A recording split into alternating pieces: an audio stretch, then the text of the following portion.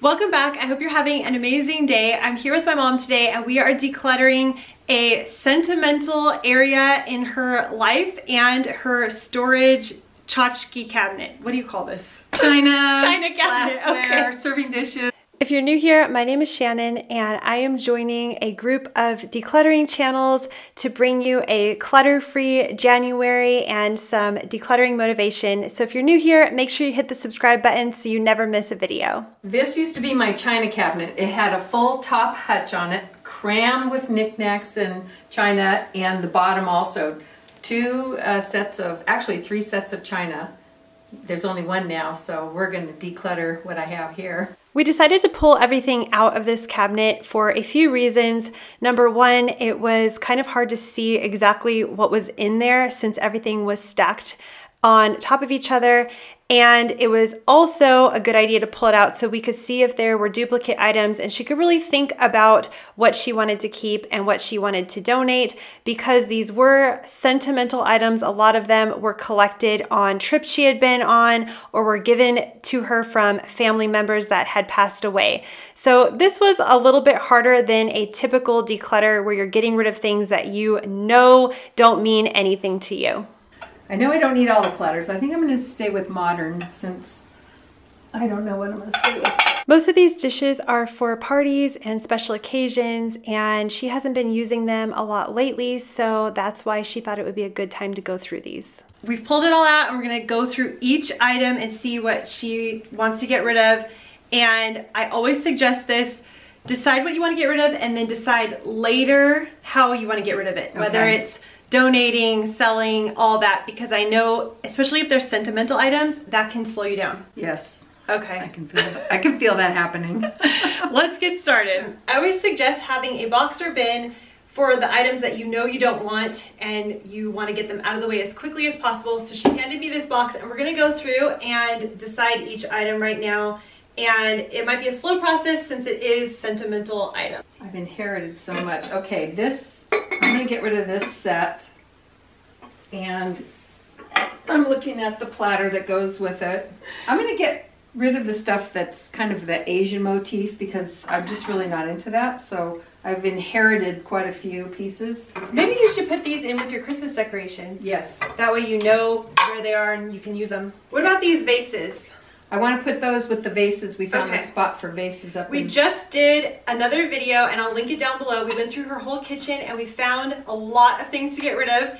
And she's got some open space now where she's now keeping vases. So Yes, it's good so you can get to these real yes, I don't have to dig for them. I noticed as we were pulling things out that she did have a few duplicate items. So I said if there's a few that don't mean as much to you, maybe you can choose one or the other. That's just one way to declutter. I think I'll keep these two.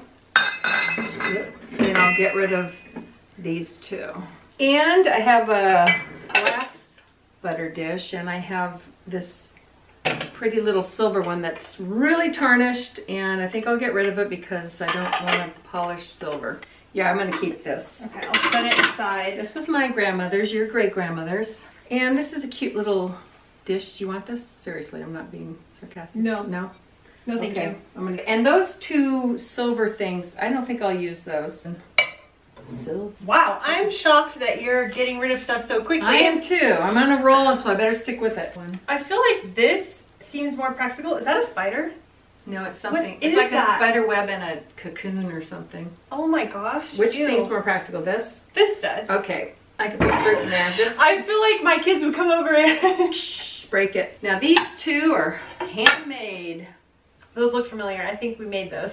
They're both by Shannon. it's up to you if you want to keep Do them. you want not. No. You don't want them? No. Soon as this coronavirus is over, we're going to have parties every weekend.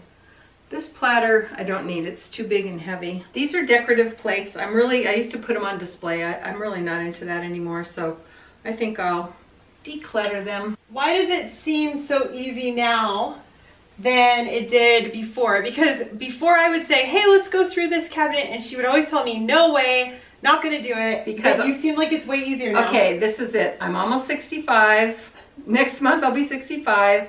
I've got a bunch of stuff to go through. I know she doesn't want it, so I'm just, you know, not going to have a place for it someday. So Okay. It's got to go somewhere. Okay, what about all two of these? Those. Those are very functional. Okay, I so like those. Those are new. This cut crystal glass water pitcher, it's very pretty. It's dirty right now, but it was never very practical, so I think I'm going to part with it. Okay, we got another decorative plate here. These two, These are. Oh, you know, you know, trolls are back now. You know, when someone gives you something really special, it's very special. But I don't know. We've never hung it. Do you want it? No. I think I'm gonna sell it. so keeping all of this, but decluttering all of that. Wow. One tip I have if you have too many sentimental things you want to keep is to set a limit. The way I do that is I have one large bin where I store all of my sentimental items that I'm not currently using. That way I don't end up keeping too many items, but I have the ones that I truly enjoy and love. All of this china she knows she wants and she's already gone through and got rid of how many I had two other sets of china before. She had two other sets of china and she decided to keep this one. Now we're just putting everything back away that she's keeping and we did this declutter at the end of December and I just find the end of the year and January are a great time to declutter because it really sets you up for an organized year without all of the extra stuff. Here is the before of the left side of the cupboard and here's the after. And here is the before of the right side of the cupboard. And here is the after. And as you can see, there is way more space in here than there was before she did the decluttering. We decided to go through the three drawers since we were already on a roll. this can go. These can go. Uh, that can go. So she did not want to open this drawer and we've already found how many items. A few. One good thing to keep in mind when you're going through all of your sentimental items is that you can go through them over and over again. So if you're having a really hard time getting rid of something or you're unsure of an item, you can set it aside and revisit the souvenir box or memento box later on at another time. Why were you able to get rid of so much of this this time?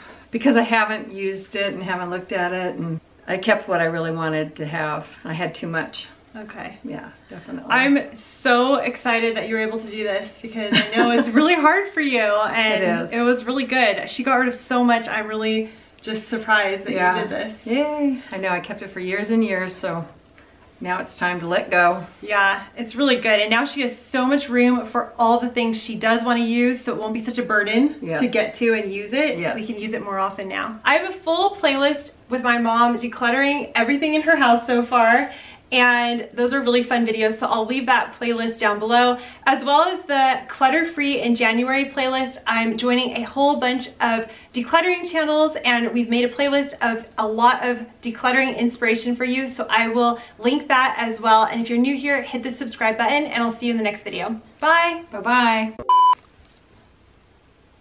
Oh, you're gonna love that one. oh wow um let me back it up We could back up. Oh no we're too close I think This was a fine bottle of limoncello I got in Italy. If your sentimental items are bringing you happiness and joy whenever you see them, you might as well keep them because they are serving a purpose even if you aren't necessarily using it every day.